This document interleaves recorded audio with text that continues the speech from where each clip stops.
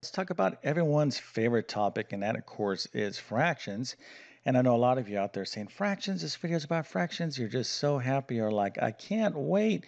Maybe your hair is standing up. You're like, oh, I love fractions. Well, that's excellent. So let's uh, go ahead and get into what we're going to be talking about. We're going to be talking about how to uh, change mixed number fractions, and this is a mixed number fraction, into an improper fraction. Okay, this is important and we're going to need to know uh, how to do this. Now, 99.9% of you already learned this. Okay, you may have forgotten uh, how to do this, and is not difficult at all. So I'm going to go through and uh, uh, do a little quick refresher on the procedure to change a mixed number fraction to an improper fraction and then we'll do a few practice problems. But um, we're also going to talk about the definition of what a mixed number fraction is, an improper fraction, and a proper fraction, because um, these various descriptions of fractions are important. But uh, we're going to get to, by the way, let me just say, if you know how to do this, you're like, I already know what you're talking about, go ahead and put, do this and put your answer in the comment section, and we'll compare notes here in a second. But uh, before we get started, let me quickly introduce myself. My name is John, and I have been teaching middle and high school math for decades. And if you need help learning math, well, check out my math help program at tcmathacademy.com. You can find a link to that in the description below. And if this video helps you out, or if you just enjoy this content, make sure to like and subscribe, as that definitely helps me out.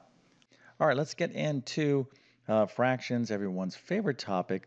And I know you're just like, wow, okay, let's get into this. All right, let's get into this. Okay, so we're talking about fractions. Let's go ahead and get some definitions down. So I have proper, uh, improper, and mixed numbers. So what we're doing in this video, we're talking about how go how to go from a mixed number fraction to an improper fraction. But what is a proper fraction? What is a improper fraction? And um, what is a mixed number fraction? Well, let's just quickly talk about this. So a proper fractions is something like two thirds, and the improper fraction is something like five uh, halves, and a mixed number fraction is something like three and two sevenths. So I wrote these down because by if you just look at these, you can kind of tell the difference, hopefully, right? So what's different between a proper and improper fraction? Well, if you're picking up uh, on the fact that the numerator uh, for a proper fraction is smaller than the denominator, well, then you would be absolutely right. So anytime this top number, which is called the numerator, is smaller than this bottom number, which is called the denominator, that's a proper fraction. Now, when the numerator, in this case it's 5, okay, when it's greater than the denominator, like this, okay, like 5 halves, well, this is an improper fraction. And we can take improper fractions and convert them into mixed numbers, right? That's a separate video, but just real quick, what we're going to do is take that numerator and divide it by the denominator, and we can uh, rewrite an improper fraction as a mixed number, okay? So a mixed number fraction is something like this. We have 3 and 2 uh, sevenths, and we could take this fraction and write this as an improper fraction. And that's what we're going to be talking about in this video. So I kind of basically uh, told you how we can go from an improper to a mixed number, but uh, we're going to be focused in specifically uh, on how to rewrite a mixed number as an improper fraction. Okay, so let's get to it. It's not that difficult. We all learned it way back in the good old days. Let's get into this. So we have 4 and 2 thirds. Um, how do we do this? Okay, well, here is how we, let me actually rewrite this a little bit clearer, okay? So we're gonna, I'm gonna write, the, write it this way, four and two thirds. So stylistically, let me actually do this a little bit better. Uh, four and two thirds, whether you write your fractions this way, like two thirds or two thirds, um, it doesn't make a difference on its surface, okay? So if you've been used to writing fractions like this or like this, um, either way is fine. However, I'm going to um, suggest that you get used to kind of using a straight uh, horizontal fraction bar. Okay, just kind of makes things a little bit easier. That slash, although there's nothing technically wrong with it, I kind of uh, interchange the two from time to time.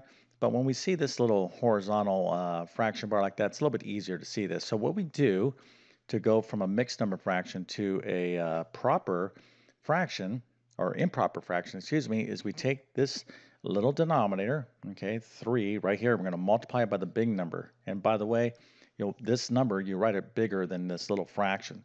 So that's going to be 3 times 4. Okay, we're going to multiply here, and then we get that result. What is that?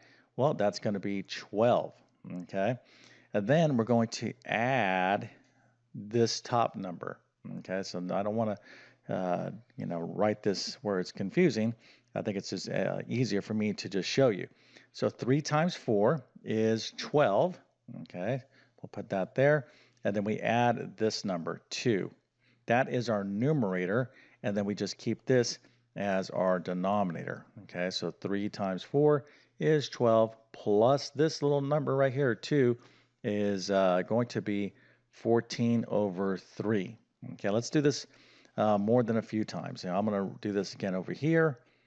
So 4 and 2 thirds. I'll keep this with the slash here, the little vertical uh, slash. So you're going to go, okay, 3 times 4 is 12. 12 plus 2 is 14 over, and then you keep this little denominator 3. Okay?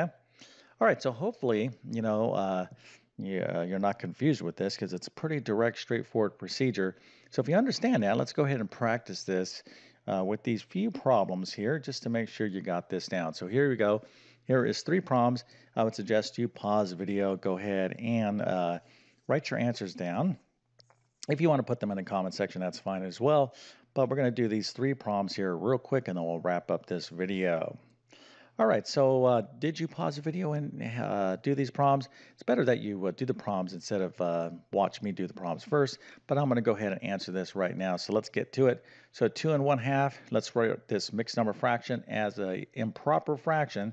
So it's going to be 2 times 2, which is 4, plus 1 is going to be 5 halves. Okay, so we got that right. Let me give you a nice little check mark. Let's move on to our next problem. Okay, so 3 times 3, which is what? 9 plus 2 is 11. Okay, so 9 plus 2 is 11 over that little 3 right there. And that is the answer, 11 thirds. All right, so this is not that difficult. And if you can't do some of this mental math, then break it down and, you know, uh, right. Just remember, it's always multiplication, okay? Then you get that answer, then you're going to add it to that little uh, numerator over there, okay? So it's multiplication, oops, uh, multiplication first, and then addition. All right, let's finish up with this last problem. 9 times 5 is what? 45. 45 plus 1 is 46 over 9. Now, one thing that you want to keep in mind, by the way, if you got that right, then that's excellent, is when you get your final answers, uh, always reduce. So if you end up with something like four, uh, uh, well, let me just do something a little better. Let's say you had 12 thirds as your final answer. Okay, which of course, yeah, in this uh, situation, what are you going to have? Well, 12 divided by uh, 3 is 4, so that's a that's a bad example. But I guess let me just not even try to make up an example right now because nothing good is coming to mind. The thing is this, always look at your answers when you're dealing with fractions and make sure you can fully simplify. Always reduce your answers. Never leave something like 500 over 1,000, turn that in because your teacher will be like, come on now, uh, give me a break. Just call that one half, right? You always want to reduce and simplify. But uh, if, uh, you know, if you've been having trouble changing mixed number fractions into improper fractions, again, you know, it doesn't have to be that difficult. What I think is difficult for students is they confuse things. They're like, oh, yeah, I, I, I forgot that or they'll do another procedure for something else. They'll start mixing things up. And that is the result of um, not practicing enough or not getting clear instruction, not taking good notes, not being organized, okay? But certainly not practicing because it's one thing to mentally look at something or visually look at something and be like, oh, I understand that. I remember that. Well, you're not going to retain that unless you practice. And you got to practice a considerable amount. Remember, math is a skill. It's just like um, it's, it's the same thing as if you were going to shoot, you shot a basketball. You're like, oh, look, I made the uh, basketball hoop. I made it, uh, therefore I must um, be super good at shooting basketballs. And I bet you if I shot this basketball a thousand times, I would get this hoop every single time, right? Well, that's not the case, right? Just because you did one problem and got lucky doesn't mean that if you've done it 10, 12, 20, 40, 100, you're going to be able to, you know, keep that skill up. So you got to practice math is a skill. But uh, hopefully this little video helps you out. But my goal is to help you um, be successful in mathematics. Okay, I really try to teach in the clearest, most understandable way so everyone can get this stuff. But you got to be willing to put your part in as well. So if you have the desire uh, to learn, then you know I could definitely help you out. But uh, my best math help will always be within my math help program. And uh, with that being said, I definitely wish you all the best in your mathematics adventures. Thank you for your time and have a great day.